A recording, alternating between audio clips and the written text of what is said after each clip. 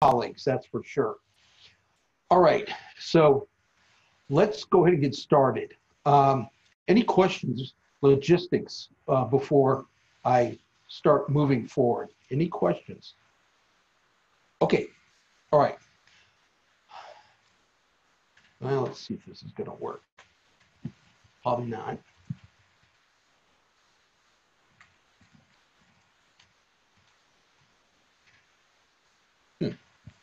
Okay, so that's not going to work. Well, nothing's working. There we go. So whenever we talk about microfluidics, the first thing we always like to kind of show you is a sense of scale. So what in the heck does microfluidics mean? Okay, the fluid part is pretty straightforward, right? You're shuttling fluids. Micro means you're shuttling fluids through micrometer domains. And this is a great slide here because it's just kind of giving you an idea of what kind of scales in terms of length that we're talking about. And typically we're not talking about the total length of any fluidic via. We're talking about its cross section, its depth and its width. And uh, for microfluidics, channels that are anywhere from about 100 nanometers up to several micrometers or millimeters in size is kind of under the domain of microfluidics. And then we're also going to be talking about nanofluidics. And this is kind of interesting because guess what? Anything below 100 nanometers, things change dramatically. What do I mean by that? How you make it changes. And then the, the fluids that you transport through nanometer domains, that changes too. So that's kind of a, that's why that demarcation line at 100 nanometers is, is kind of a, it's put there based upon physical reasons, both from the manufacturing or the making it perspective and the fluids that you transport under uh, uh, that are less than 100 nanometers in size. So it's, it's always a fair assessment to figure out what microfluidics buys you. What can it do? Um, I think the easiest one, you know, the one that you'll always hear is, well, it's small. It shrinks the experiment that you need to do. Yeah, maybe so. I, I don't put that much stock in that.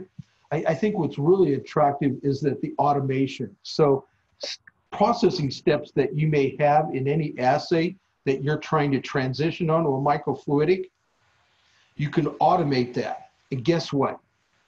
Whenever you automate something that is fluid dispensing, pipetting, or whatever, all of those become much better controlled when you're using microfluidics versus someone they're pipetting the variability in the assay goes down precipitously. You get better control of experimental conditions. And I was talking to Aaron about reaction times, and those can be carefully controlled by using microfluidics and then adding processing steps. So everything is well controlled. The variability on the assays are going to be much more uh, lower than if you did this by hand, that's for sure.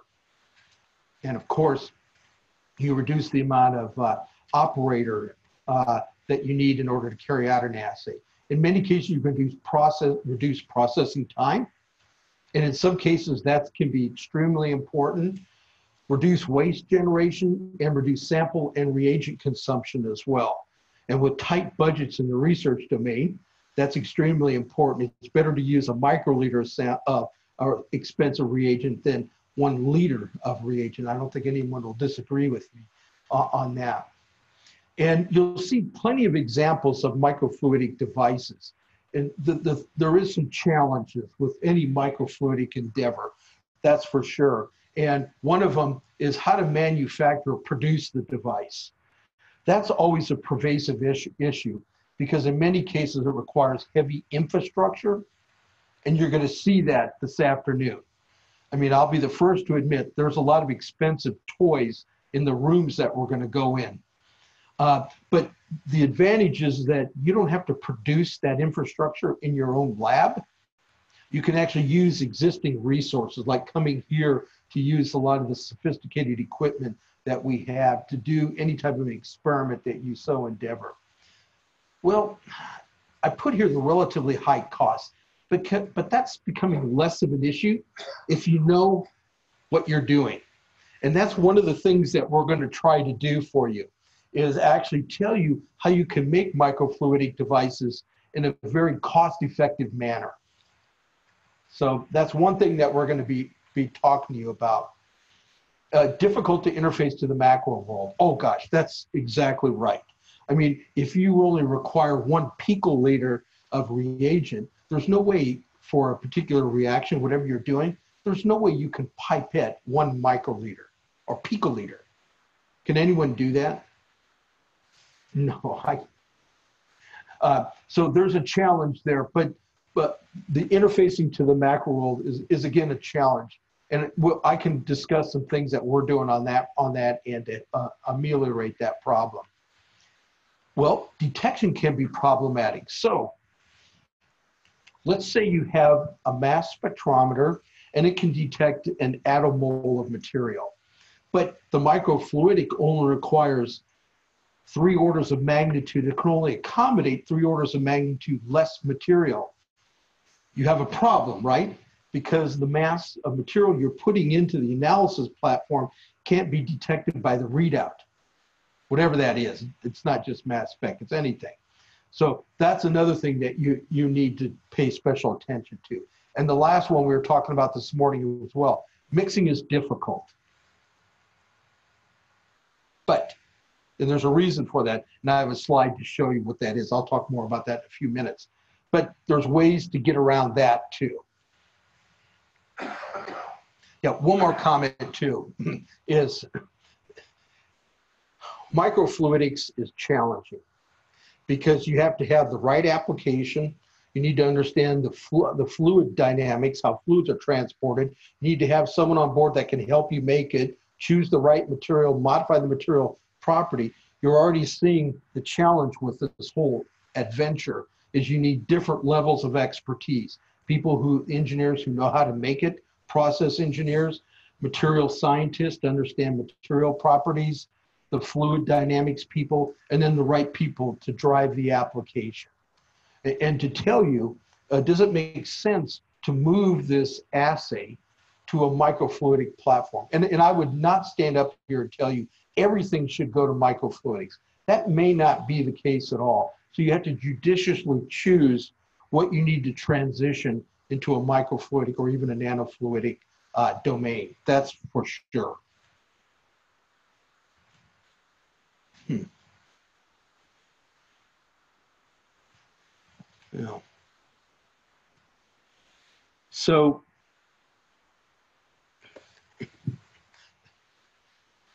this whole area is growing immensely. There's just no doubt about that for a lot of the reasons that I delineated on the previous slide.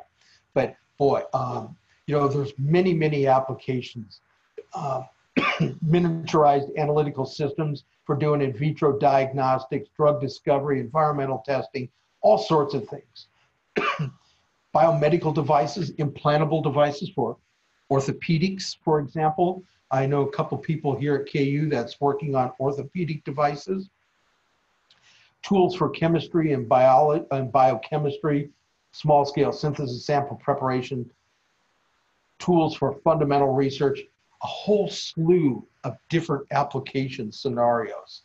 And just like I alluded to, don't be fooled. Everything that you're maybe working on or plan to work on may not be appropriate for a microfluidic system. So just keep that in mind as you start moving forward. But that's part of our job here over the next couple days is to kind of give you an, a sense of uh, or an idea of what is appropriate or not appropriate to put on a microfluidic platform. And then what, what are some design considerations that you need to think about in order to make that a smooth transition from the bench top into a microfluidic. Yeah, and the purpose of this slide is just to show you the wealth of things that you can make. And I, and I think don't be misled by this name microfluidics, meaning all you can do is make channels to transport fluids. That's not at all the case. There's a you can make micro optical units. Um, we don't have it. You you can pattern nanostructures. That uh, uh, you can again here is where, where we have uh, pillars to do solid phase extractions. Uh, you can pattern, and this is the other thing too. This is a nice picture here because it's showing you in some cases we have to make electrical connections to these fluidic channels, and you can do that too. And a lot of that can be done in a fabrication protocol that's going to be conducive to high scale production at low cost. And just depending upon the nature of the experiment that you wish to endeavor, you know, you know, maybe you want these things to be extremely low cost to accommodate a disposable application. That means it runs one sample and you throw the device away. So in some cases that may be necessary to do. Um, yeah, let's see. Oh gosh, different materials, silicon, plastic. Uh, you can insert fiber optics into these devices. You can make micro optical components. Here's a micromirror and this particular microfluidic. Uh, some variety of materials, variety of structures, pattern electrodes. You're going to hear all about that over the next couple days, how that's done actually. And, and you'll hear a really nice talk, I think tomorrow, uh, tomorrow on commercial microfluidic devices. So in some cases, for an application that you may envision, you don't have to make it yourself. You might be able to commercially purchase that microfluidic. And that's another thing that you'll hear about what, what, uh, what you can get from commercial vendors already. And for example, in our lab, we do droplet digital PCR uh, to look at nucleic acids.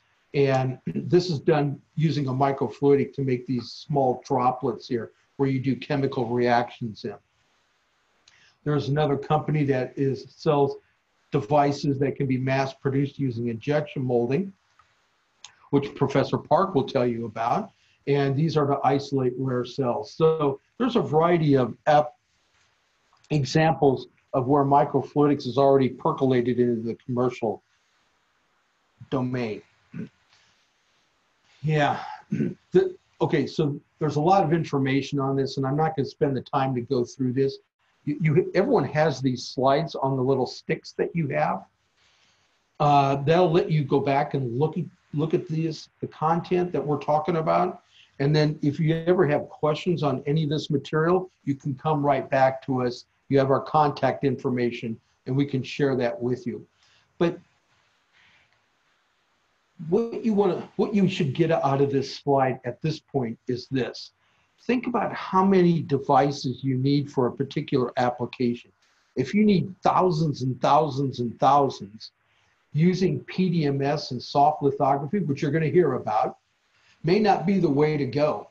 It may be more efficient to do injection molding, where when you're making only a few pieces, it's not very cost effective, but it becomes more cost effective if you're scaling up the number of chips. And this is exactly what happens in many commercial applications they'll look at these curves and decide what is the fabrication modality that needs to be done in order to accommodate accommodate that particular market area. All right, and we can we we I'll be happy to go through how all of these things come into play and what all these terms mean in terms of look estimating the cost per device.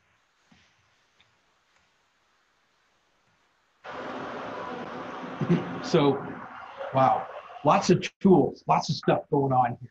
Uh, this is uh, these are some of the things that we have at KU to do microfluidics, and I should point out make nanostructure to do as well to do nanofluidics. So uh, let me just point out a couple things here. This is what's called a high precision mill, micro milling. Uh, Matt, Dr. Matt Hupert will be talking about that. It spins very small bits. 50 micron carbide bits at very high uh, revolutions, 50,000 or so, so it can make extremely small holes.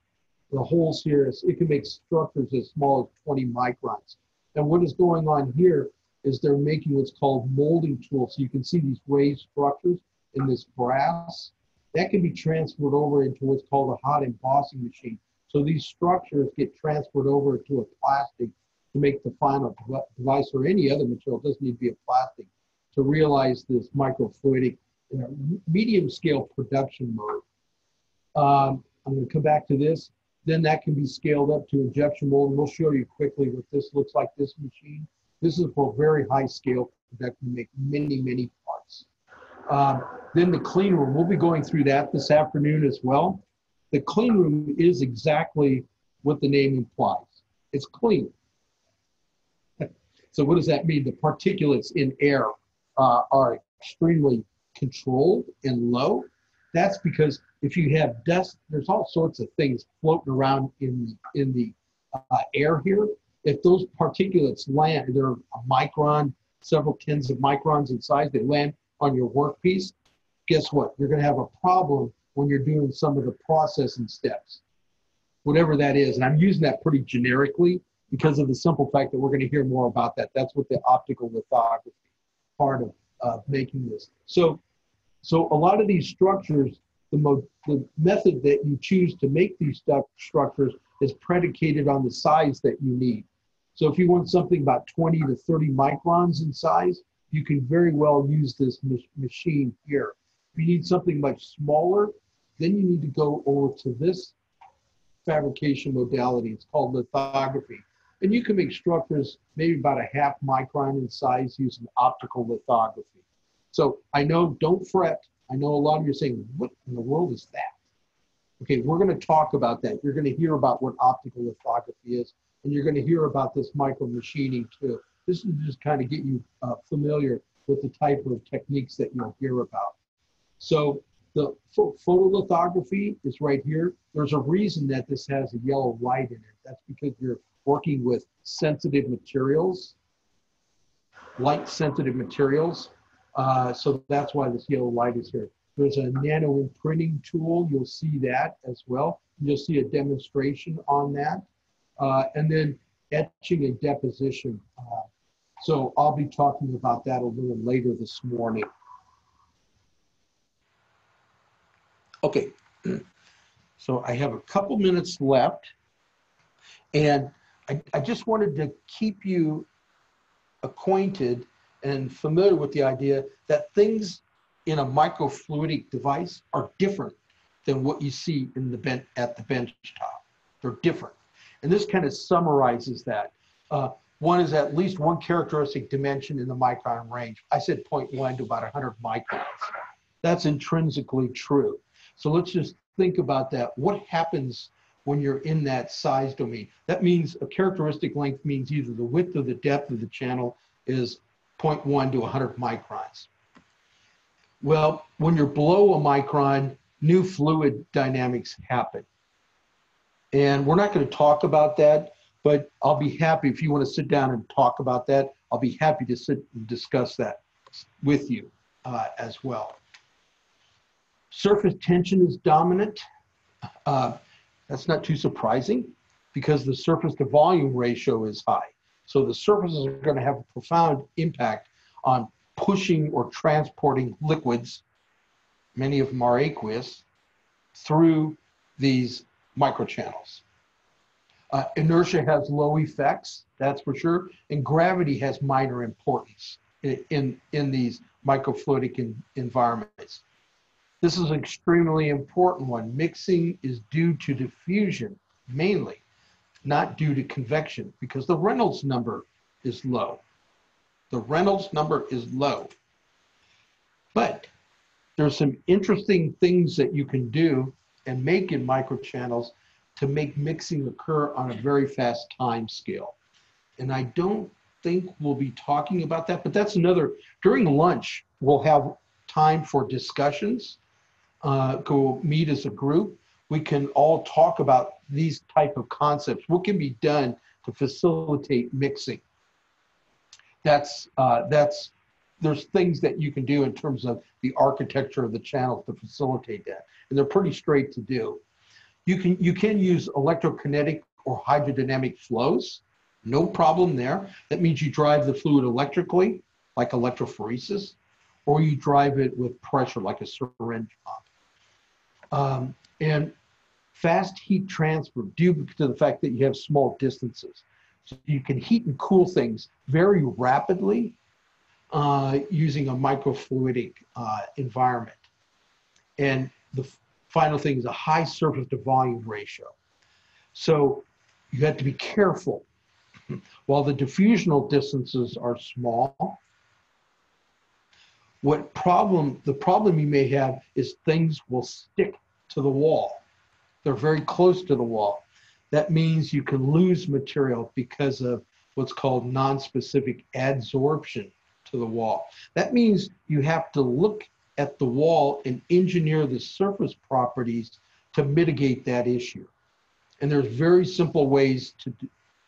Okay, I better be careful. I always get yelled at because I always say things are simple. There's things that you can do to address that issue, uh, non-specific adsorption artifacts.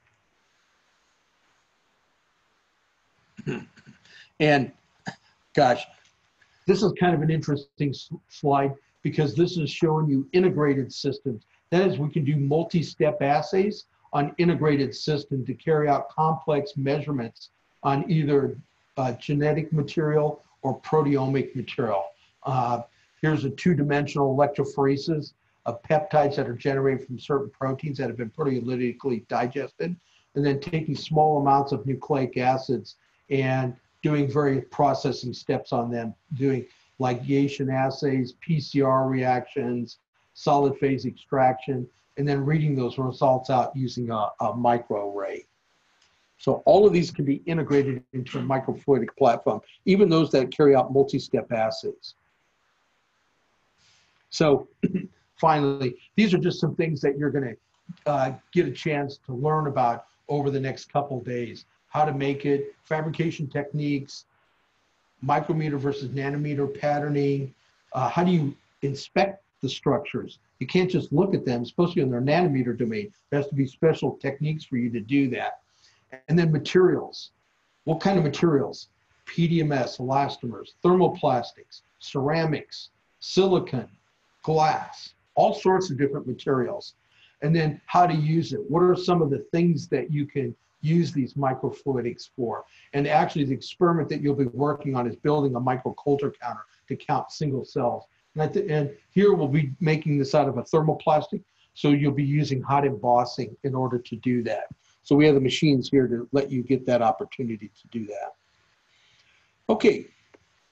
Any quick questions before we move on to the next part of this morning's presentations? Any questions?